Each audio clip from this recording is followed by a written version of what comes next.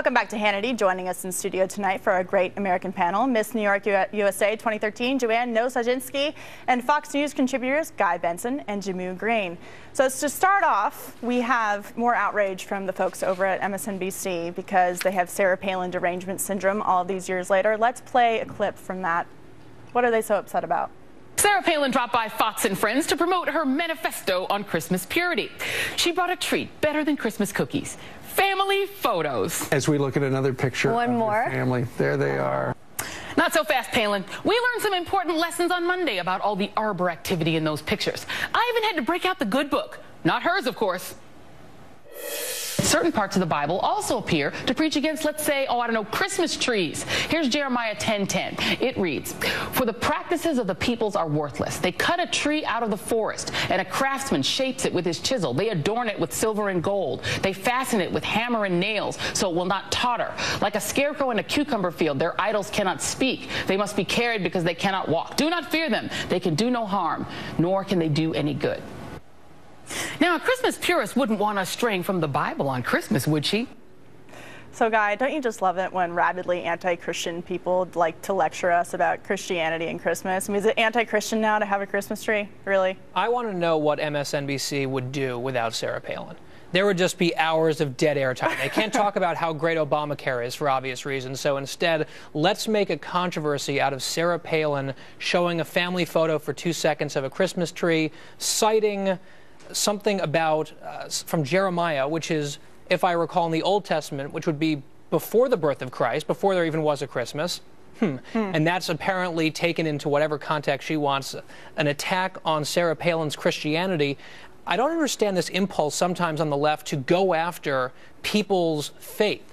Joy Reid did it with Sarah Palin. Harry Reid, no relation, did the same to Mitt Romney, saying that right. he had sullied Mormonism. Mm-hmm. Uh, what's that about? It's very judgmental, actually. What do you think, Jehmu? I thought we were all about tolerance over on that channel we will not speak of. Well, I'm not sure where your sense of humor has gone because clearly was Joy Reid, Joy Reid was, was being facetious. Oh. And you just had a segment where Dana talked about how can you have outrage when someone cites scripture, which is exactly what Guy Benson just did.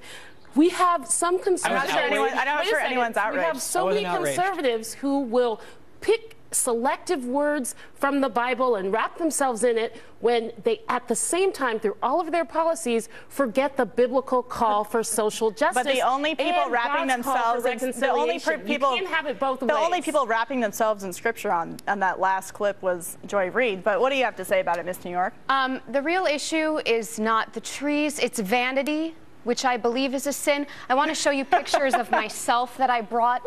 Oh, I mean, you. really, who hasn't been to church on Christmas Day and there's Christmas trees in the church? Right. That is not the issue. I do think that, I certainly hope that they were just poking fun at it. Yeah. Because if you really believe that to be a terrible thing, I don't know, go look at more pictures of me. Well, speaking of another thing that people think is quite a terrible thing, Beyonce is now under a lot of fire for using some audio from the 1986 Challenger crash in one of her new songs. The families are saying that it was very inappropriate and sensitive for her to use that. She's coming out and saying in response basically that she wanted these people to be remembered.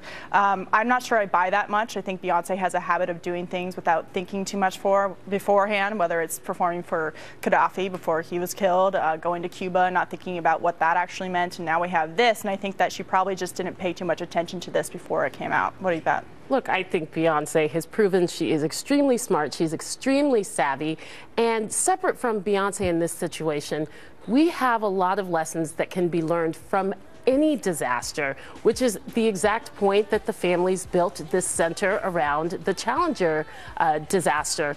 I think this situation highlights the disaster for a whole new generation who wasn't alive when this happened. I was in seventh grade when the Challenger explosion happened. Think of all the young people who are now learning about this because of this song that's kind of, I think, selective outrage that should actually just take a step back and say maybe this is something that we can use to bring more attention to this disaster and let new generations of but people. But Guy, do you think it. that it's selective outrage, considering the family members of those right. who were killed are, are, upset about this? I don't think that's selective outrage. I, that's the most upsetting part is that members of these families were hurt by this, and I'm not going to sit here and throw stones at Beyonce for for including it in her song. I think if you're going to do that and you're going to come out with with this explanation afterwards saying, oh, this was really a tribute to them, you should make that clear from the beginning and ask permission. It's just an easy, basic thing to do is to go to the families before you release the song and ask permission and explain why you're planning to do what you do rather than just release it and then come up with an explanation or an excuse, depending on how you look at it, afterwards. Right. What do you have to say? Um, artistically, probably really cool. That's why she wanted to do it. However, if it's not a tribute, you just have to be very careful Right. with what you're doing. Um, and I think that really a great thing could have been to then take proceeds from that song and then donate it to that foundation. Great idea. If she really wants to Good call. apologize to families. Great And idea. Well, we'll be, we'll be right back. We got to run. upset. We'll be right back.